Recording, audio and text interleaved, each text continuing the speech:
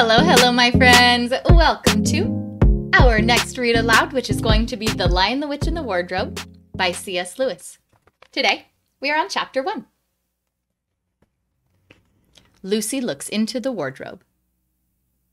Once there were four children whose names were Peter, Susan, Edmund, and Lucy. This story is about something that happened to them when they were sent away from London during the war because of the air raids. They were sent to the house of an old professor who lived in the heart of the country, 10 miles from the nearest railway station and 2 miles from the nearest post office. He had no wife, and he lived in a very large house with a housekeeper called Mrs. Macready and three servants. Their names were Ivy, Margaret, and Betty, but they do not come into this story very much. He himself was a very old man with shaggy white hair, which grew over most of his face as well as on his head, and they liked him almost at once. But on the first evening, when he came out to meet them at the front door, he was so odd looking that Lucy, who was the youngest, was a little afraid of him, and Edmund, who was the next youngest, wanted to laugh and had to keep on pretending that he was blowing his nose to hide it. As soon as they had said good night to the professor and gone upstairs on the first night, the boys came into the girls' rooms and they all talked it over. We've fallen on our feet, and no mistake, said Peter. This is going to be perfectly splendid. That old chap will let us do anything we like. I think he's an old dear, said Susan. Oh, come off it, said Edmund, who was tired and pretending not to be tired, which always made him bad tempered. Don't go on talking like that. Like what? said Susan. And anyway, it's time you were in bed. Trying to talk like mother, said Edmund. And who are you to say when I'm going to bed? Go to bed yourself. Hadn't we all better go to bed? said Lucy. There's sure to be a row if we're heard talking here. No, there won't, said Peter. I tell you, this is the sort of house where no one's going to mind what we do. Anyway, they won't hear us. It's about ten minutes' walk from here down to that dining room, and any amount of stairs and passages in between. What's that noise? said Lucy suddenly. It was a far larger house than she had ever been in before, and the thought of all of those long passages and rows of doors leading into empty rooms was beginning to make her feel a little creepy. It's only a bird, silly, said Edmund. It's an owl, said Peter. This is going to be a wonderful place for birds. I shall go to bed now. I say, let's go and explore tomorrow. You might find anything in a place like this. Did you see those mountains as we came along? And the woods? There might be eagles. There might be stags. There might be hawks. Badgers, said Lucy. Foxes, said Edmund. Rabbits, said Susan. But when the next morning came, there was a steady rain falling, so thick that when you looked out of the window, you could see neither the mountains, nor the woods, nor even the stream in the garden. Of course it would be raining, said Edmund. They had just finished their breakfast with the professor and were upstairs in the room he had set apart for them.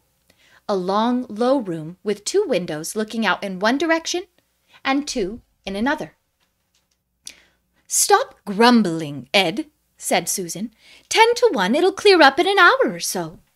And in the meantime, we're pretty well off. There's a wireless and lots of books. Not for me, said Peter. I'm going to explore the house. Everyone agreed to this, and that was how the adventures began.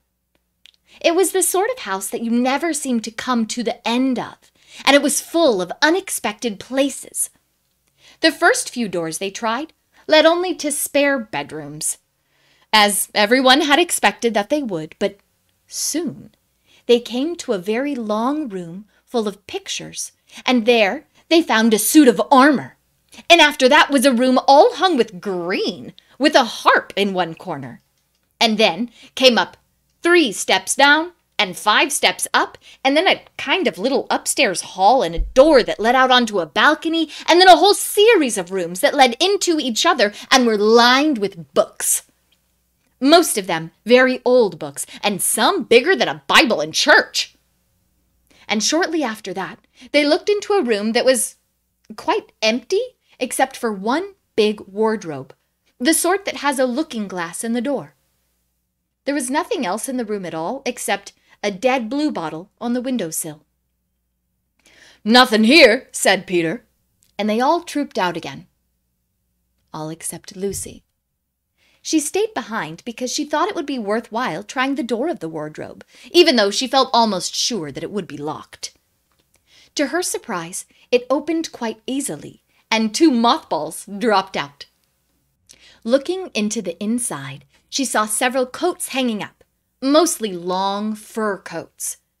There was nothing Lucy liked so much as the smell and feel of fur.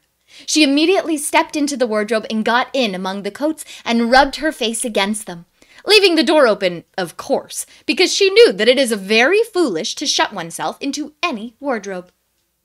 Soon she went further in and found that there was a second row of coats hanging up behind the first one.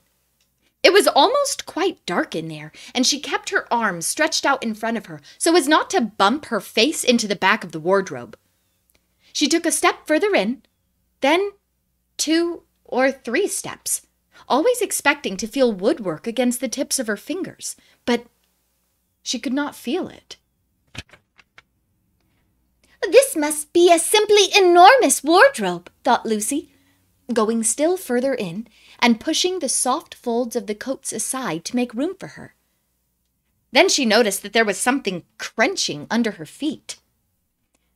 I wonder, is that more mothballs? she thought, stooping down to feel it with her hand. But instead of feeling the hard, smooth wood of the floor of the wardrobe, she felt something soft and powdery and extremely cold. This is very queer, she said and went on a step or two further. Next moment, she found that what was rubbing against her face and hands was no longer soft fur, but something hard and rough and even prickly. Why, it is just like the branches of trees, exclaimed Lucy. And then she saw that there was a light ahead of her, not a few inches away where the back of the wardrobe ought to have been, but a long way off. Something cold and soft was falling on her. A moment later, she found that she was standing in the middle of a wood at night time, with snow under her feet and snowflakes falling through the air. Lucy felt a little frightened, but she felt very inquisitive and excited as well. She looked back over her shoulder, and there, between the dark tree trunks, she could still see the open doorway of the wardrobe, and even catch a glimpse of the empty room from which she had set out. She had, of course, left the door open, for she knew that it is a very silly thing to shut oneself into a wardrobe. It seemed to still be daylight there. I can always go back if anything goes wrong, thought Lucy. She began to walk forward, crunch, crunch, over the snow and through the wood toward the other light. In about ten minutes, she reached it and found it was a lamp post. As she stood looking at it, wondering why there was a lamp post in the middle of a wood and wondering what to do next, she heard a pitter patter of feet coming toward her. And soon after that, a very strange person stepped out from among the trees into the light of the lamp post. He was only a little taller than Lucy herself, and he carried over his head an umbrella white with snow.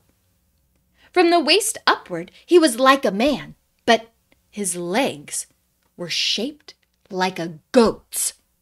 The hair on them was glossy black, and instead of feet, he had goat's hooves. He also had a tail, but Lucy did not notice this at first because it was nearly caught up in the arm that held the umbrella so as to keep it from trailing in the snow. He had a red woolen muffler round his neck, and his skin was rather reddish, too.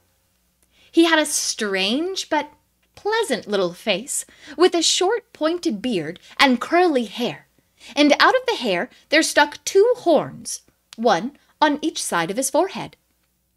One of his hands, as I have said, held the umbrella. In the other arm, he carried several brown paper parcels. What with the parcels and the snow, it looked just as if he had been doing his Christmas shopping. He was a faun. And when he saw Lucy, he gave such a start of surprise that he dropped all of his parcels. Oh, goodness gracious me! exclaimed the faun. And that ends chapter one. Catch us back here next time for chapter two.